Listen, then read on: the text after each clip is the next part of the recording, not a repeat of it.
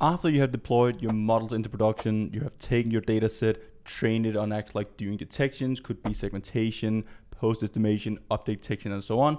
Then we need to maintain our computer vision models. So this is pretty much the whole pipeline. Once you train the models, we deploy them. But another very important step, and a lot of people are act like just disregarding this. They're not thinking that this is actually like an important step, and that is maintaining and also monitoring the models after we have deployed them into production.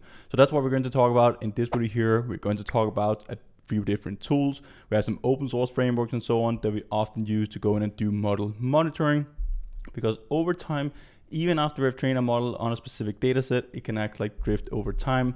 Could be that the model environment is changing, could be that the data, we have data shift and so on. So we might have trained our model on separate data because our environment is pretty much always changing when we have a real world AI application and computer vision model running. So this acts like a very important step, if not the most important step, when we actually take our computer vision models and want to apply them on business use cases if you don't take this into account, if you don't think this is an important step, you're going to run into a lot of problems, errors, and again, your customers will not be satisfied with the results. Or if you deploy and train your own models, you will basically just lose accuracy. It's hard to keep track of, okay, how good is the accuracy of a model? How does it perform over time and so on? And those are very important metrics that we want to track.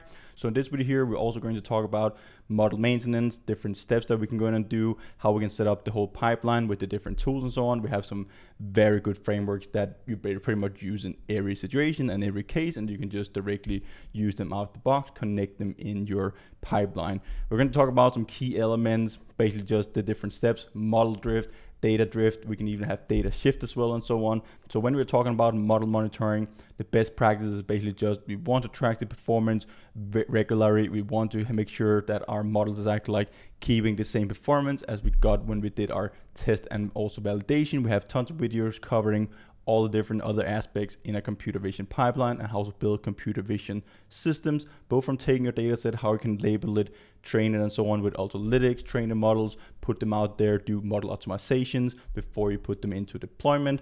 So we have the whole cycle here, but this is very important that we do our money monitoring and also maintenance, good setup, retraining pipelines and so on. That's also very common. So we have our monitoring, we check for performance, we track that over time we double check the data quality. So if you're getting some errors, you might get some data shifts, some inaccuracies and so on. Make sure that you double check your data.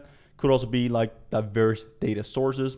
When you deploy it, you maybe train it on a few cameras, few environments and so on. Then you put it out in the real world and your model performs very different compared to what you saw inside your Jupyter notebook and so on. So that's also very important. Could, for example, be like, let's say that we have a self-driving car. If we only train from data from Tesla cars, we can't just take an arbitrary camera, like arbitrary cameras, put it into any other vehicle, and then the car will just drive itself in that situation either. But if we take five, six, seven different car types and so on, and start to build a large-scale data set, it will start to generalize better. So use diverse data sources as well. Combine different monitoring techniques. We're going to go over a few examples in just a second. Monitor the inputs and also the outputs. Are they consistent over time? You can go in and do some double checks. Basically just run that through your model because your model could also change over time, which cause these inaccuracies, but also just shift in your performance. If any of these things here occur, make sure that you set up alerts so you get an alert if there's any errors, if there's any data shift and so on, if the inputs and outputs are not correct any longer, could be a ton of different things, but again, make sure that you monitor it, set up alerts and so on. You can do retraining of the models, sample some data when you have it running out there in the real life world, sample it, retrain it, and then we have the whole computer vision pipeline. So the most used tools for computer vision and also basically just AI model monitoring in general is Prometheus. It's basically like an open source monitoring tool that basically just collect and also stores the metrics for our performance. So all the different metrics that we have for our model could be accuracy, precision, and so on. We can have Prometheus store that, but also just collect it from our pipeline.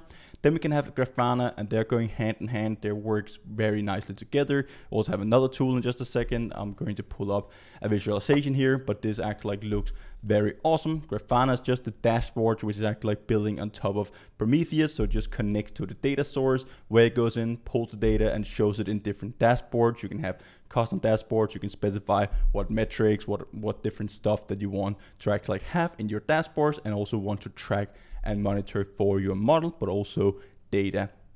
Then we also have another one here, which is called Evidently AI. All these tools here, they're open source, but this one here is designed for monitoring, but also like debugging machine learning models, especially in production. So this framework here can actually go in and detect data drift if you have that in your data over time. Model performance degradation it is not performing as good as before, but also just other issues because again, we have all the data collected with Grafana, we have our dashboards. We can connect it with Evidently, which is basically just checking for anomalies, detecting if there's a data drift or is actually like the model's performance that is degrading over time. So we basically just have this whole architecture here for monitoring. So we have our machine learning service where we're running our prediction and also doing our inference with our model. Then we throw that into Evidently, which is just doing this monitoring service that we can act like just pull the metrics from Prometheus as well that stores and collect all the data that we have. And then we can just connect Grafana on top of that to pull our data and show it out in visualizations, dashboards, and just graphs in general. So these are pretty, three pretty cool frameworks that you can combine for maintaining your computer vision models, but also just AI models in general monitoring, maintaining, retraining, all of these works here that are very important when we're talking about taking our computer vision models from our Jupyter Notebook, from our Google Colab, and act like putting them out there in the real world. So let's now go down and take a look at an example of data drift detection. So could be that your environment is changing over time, could be lighting conditions and so on, could also just be whatever different factor that has an effect on your data, your input data. When we're talking about cameras, could be lighting, could be reflection and so on, could be that is changing over time. Indoor environment, outdoor environment, different weather conditions and so on. So that could be different types of data drift. So we basically just want to have our data drift detection. Could be that we want to detect outliers with outside a specific region and so on. This graph here shows it pretty good. So we can both detect outliers, but we can also have this data drift that could happen. And the data drift could happen sometimes, but it could also just be over time that is totally changing. So it's very important that we go in and do continuous monitoring. Statistical techniques, basically just apply all these statistical methods on top of your data to make sure that you actually like just detect if there's any shift. There's tons of different methods out there. We again we have this doc page here where you can go way more into details about it. Could also be there's feature drift in general. So when we want to do model maintenance, it's very important we have regular updates. We can't do model maintenance if we don't have model monitoring. We actually like need to know that our model is performing worse. Could also be that we already know that our model is probably not the best, so we want to collect more images once we deploy it into production and then retrain our models. But here we can see a very nice accuracy graph of the model. So we can see the model accuracy.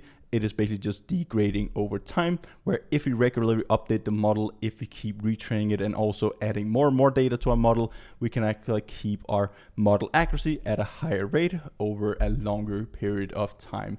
So this is also very important to do. And then again, then you're going to apply different methods and so on, where we can go and use all our monitoring tools to go in and figure out when do we want to retrain. We could trigger it like periodically, regularly at any interval that we want. But again, we can also go and use these monitoring tools to go and see when it's actually necessary to retrain.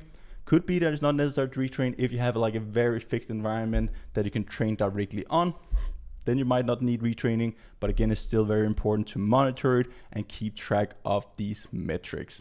So definitely make sure that you take all these things here into account for building like full scale computer vision systems. It's very important. Like sometimes people just see the good accuracy in the Google Colab notebook. When we're doing our evaluation, hyperparameter tuning, all that, we get good values. We have high precision, high recall, good mean average precision, and so on. And we basically just think our model is the best over time, we then put it into production, we see totally different results. Could also be that you put it into production, you see good results, but again, if you don't apply monitoring, it can act like degrade over time and most likely will. This is very important. Make sure that you understand each of these steps. Also check out the other videos that we have on the channel. We cover every single part, element in the computer vision pipeline, going from data to act like solving use cases out in the real world. Hope to see you guys in one of the upcoming videos. Until then, happy learning.